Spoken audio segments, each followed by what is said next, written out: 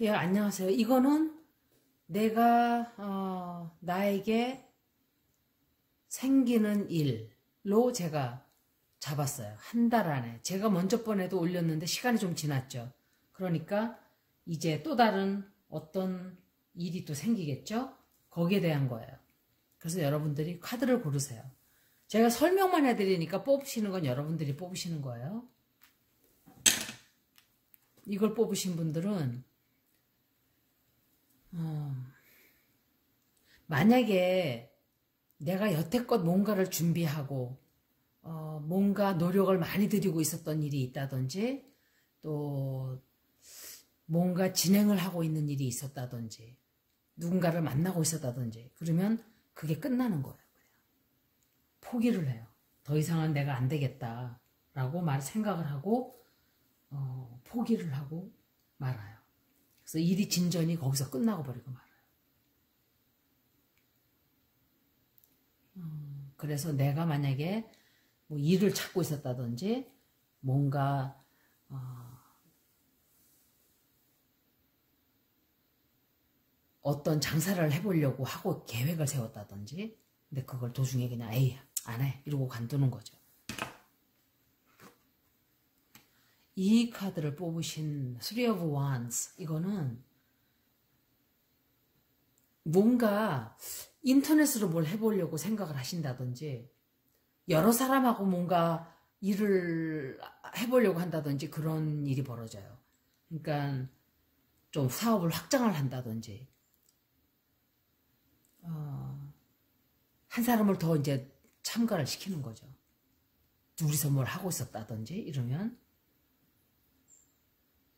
그런데 무역업을 한다든지 또는 뭐 동영상을 만들어서 동, 뭐 인터뷰 아니 동, 유튜브를 한다든지 뭐 이런 거예요. 이런 어떤 그런 식의 laptop lifestyle을 버리는 거예요. 그리고 그냥 집에서 뭐 일을 한다든지 이렇게 되는 거죠.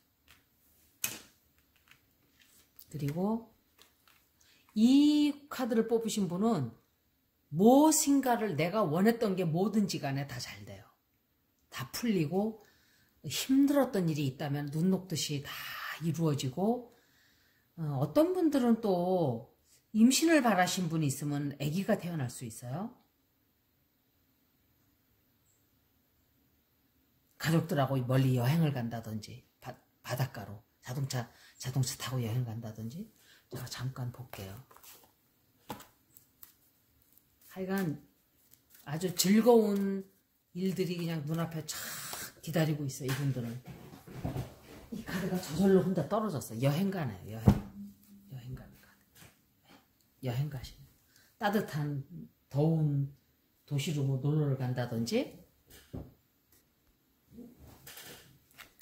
이렇게 되네요. 어, impress. 이거 뽑으신 분들은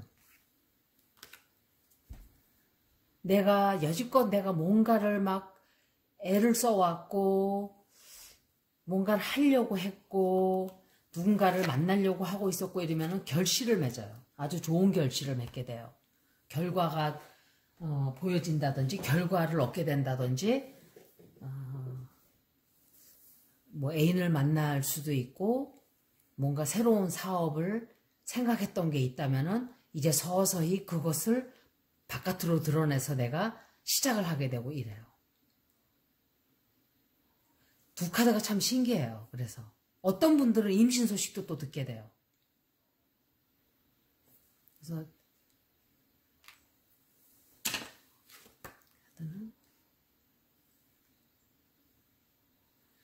어, 몸들이 좀 아프셨으면은 몸이 아프셨으면 아, 몸이 많이 회복이 되고 건강이 많이 좋아져요. 건강도 많이 좋아지고 음, 좀 시끄러운 일이 많았었다면 그 시끄러운 일들이 서서히 해결이 되면서 좀 조용해지죠. 평화, 평화롭게 되는 거예요, 이제. 아, 이제 좀 살겠다라고 평화스러운 그런 시간들이 좀 찾아오죠. 휴식을 하는 거예요, 휴식. 평화로운 시간이 찾아와서. 재회를 기다리시는 분이 있나요? 이건 재회 카드예요. 뭔가 헤어졌던 사람이 돌아온다든지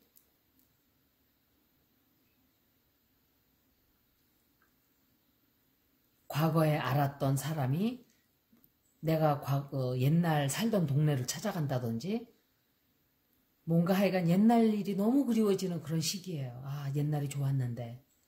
나 어릴 때는 이랬는데. 이런 생각을 하는 거예요. 그래서 이것 역시 어, 뭔가 좀 아련한 그런 카드예요. 자기 자식을 낳아봐야 옛날이 그리운 거예요. 시끄럽고 막 애들이 떠들고 그러면 아, 나 차라리 애들 때로 돌아가고 싶다. 그런 생각하는 거죠. 이 카드를 뽑으신 분들은 어, 법적인 일에 시끄럽게 휘말릴 수가 있다든지 어떤 계약을 해야, 해야 된다든지 아니면은 어, 기다리던 일의 결과를 확실하게 그 소식을 듣게 돼요. 확실하게 결과를 얻게 되고 이런 일이 있어요.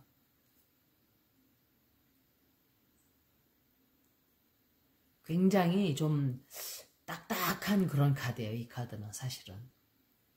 이 카드는 막 자기야 막 비비비 꼬고 막 이런 카드라면 이거는 그래서 딱 이런 카드예요. 뜻이 딱 그렇게 들어와요.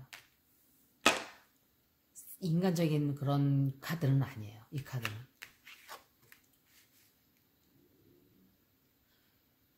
이 카드를 뽑으신 분들도 마찬가지로 어, 힘든 시간을 지금 보내고 계세요. 굉장히 경제적으로 힘들던지 몸이 좀 아프던지 누군가를 지금 내가 돌봐야 된다든지 먹여 살려야 된다든지 좀 그걸 조금 더 그 시간이 길어져요. 그걸 잘 참고 견디네요. 근데 좀 그런 누가 아파서 내가 간호를 해야 된다든지 그런 일이 좀 있을 거야 앞으로. 여태까지 앞으로 어떤 일이 나에게 벌어질 수 있을까? 한 달 정도로 계산하면 좋겠죠. 한 달 정도. 네, 여기까지. 고맙습니다.